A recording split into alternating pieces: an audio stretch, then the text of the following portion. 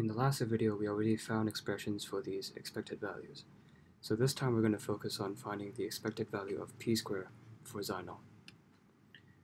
So the formula for the expected value of p squared is that we take the integral and then we integrate the wave function, we take the conjugate, and then we apply the momentum operator twice because it's p squared this time, and then we apply it to the wave function dx. And then as explained in the previous video, because of the conjugate sign, the t components of these two wave functions, they're going to cancel out. So in the end, we're going to be left with a slightly simpler expression. We had xi naught times this momentum operator squared xi naught dx. So recall that last time uh, we did this substitution to simplify our xi naught. So we changed our xi naught into alpha times e to the power of negative y squared over 2. So y alpha was equal to m omega divided by pi h bar 1 fourth, and y was equal to square root of m omega divided by h bar times x. So we did this substitution last time to simplify our xi naught. So we're going to use this simplification again in this video. So we can further simplify this term uh, slightly uh, a little bit by pulling these constants out.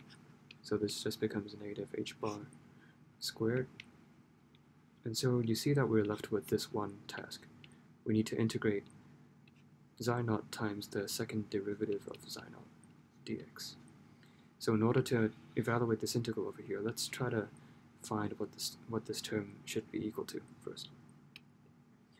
So now we're going to focus on finding the second derivative of xi naught. So uh, in order to find this, first of all, let us focus on the first derivative.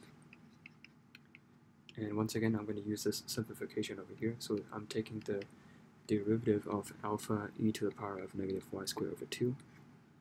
So the first step, I can pull out the constant, and then I'm going to use the chain rule.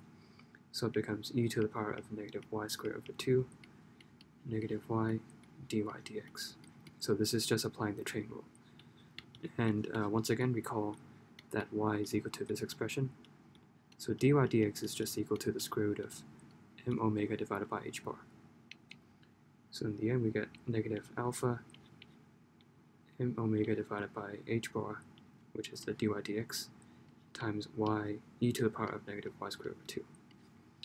So now we're going to take the second derivative. So when we're doing this, we can just pull out these constants.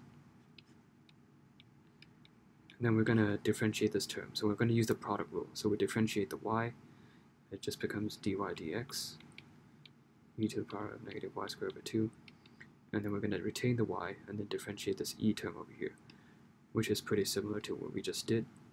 So we just use the chain rule again.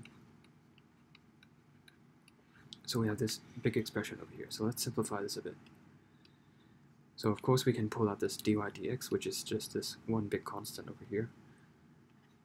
So the second derivative of xi naught that's equal to negative alpha m omega divided by h bar. So I'm just combining the dy dx with this constant over here. And then we have e to the power of negative y squared minus y squared times e to the power of negative y squared over 2. So there we have it. This is our term for the second derivative of naught. So now we can substitute it inside this expression to find this expected value. So let's do just that. So expression for the expected value, we call that it's equal to this. And uh, once again, let's uh, notice that everything over here is in terms of y. So I'm also going to have to do a substitution over here. So I'm going to make this in terms of dy. And then the substitution is rather straightforward. You see that dx is equal to the square root of h bar divided by m omega dy. So in the end, our integral becomes something like this.